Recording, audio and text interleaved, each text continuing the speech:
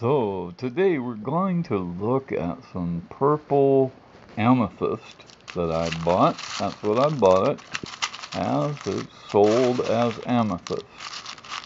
These are little crystals, uh, eight, five carats. Okay. Not a one of them has any hexagonal shape to it. Not one.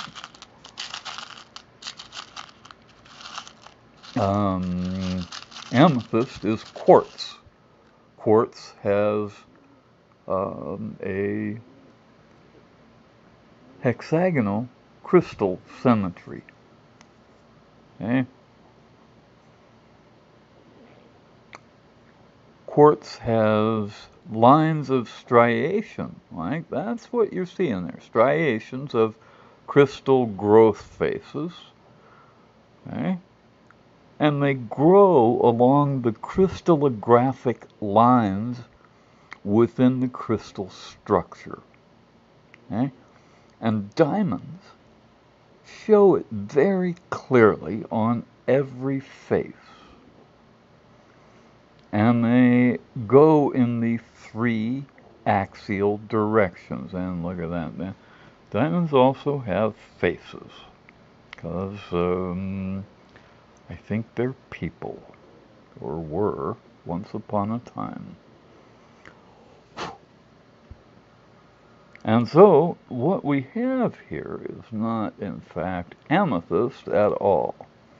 It is a diamond, and they're actually pretty darn good little diamonds. They're, they're, they're little, but they're really nice. They're clear, and, uh-oh, and you can throw them around, and and they are quite um, beautiful, actually, and fun to look at. At least I enjoy it. Look at that. See those lines going that way? Quartz doesn't do that ever. Not even once. And see, these go the other way. About that? Because because it goes like this in a sort of chevron along this axial line, which makes uh, the opposite side over here the z-axis. And so we could cut this. See how the quartz, I mean the crystal lights up there? Full of light all of a sudden getting those rainbows in there and stuff. Look at that. Because I've got it on the on the z axis. XY is the horizontal axis and Z is the vertical axis. And it's not always the tallest one. Eh? Not always this way and this way. In this case, it's this way and this way. And what I look for, see this right here? This is part of that crystal growth and structure. It forms like a like the corner of a box kind of. And you can see all three crystallographic axes at that one junction. Right there. That's the z-axis. That's the bottom of the z-axis. Hmm?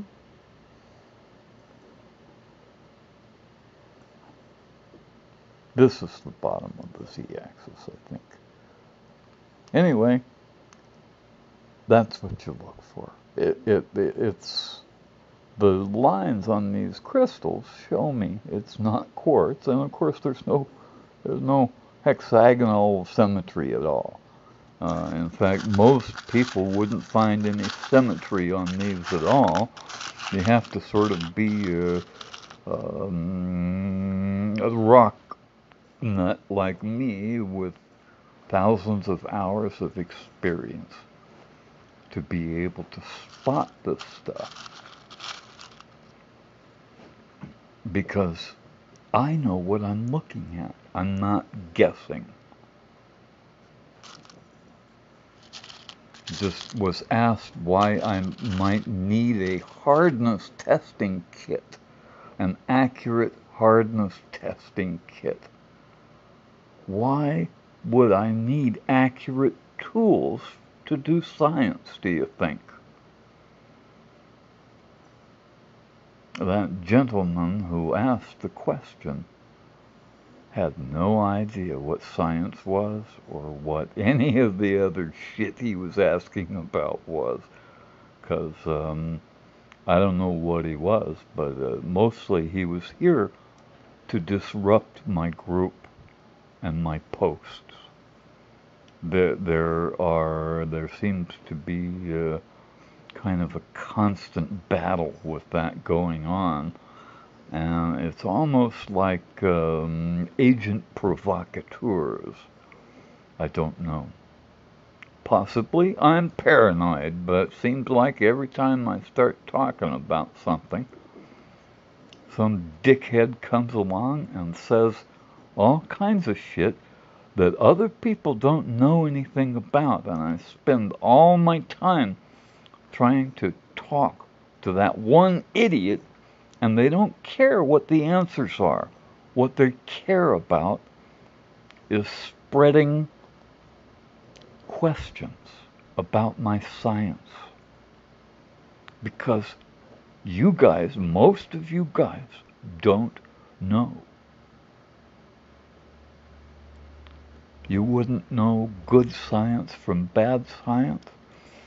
And you wouldn't know any science if it bit you on the foot, most of you, because you watch television instead of doing science like I do. And I'm sorry, I, I don't mean to be rude about that, but it does not teach you anything except how to be a passive observer. That's what television teaches. Now this is interesting. See, you can see the three axes of the crystal structure right here. This is that that part of the crystal that shows the z axis right here. Bum bum bum bum bum bum and they go in the directions in the, of the crystal growth in, the, in those axes, the X, Y, and Z, and they meet. The Z axis is where they meet. Boom, at that pyramid. And one over here on this side. And, and as it turns out, these broad sides on these crystals are exactly the right way to cut them. And that way they light up inside. See that? See how it's lighting up inside? Didn't cut that. It's bouncing off the facets, the natural facets in the crystal, and catching the light and holding it because that's what diamonds do.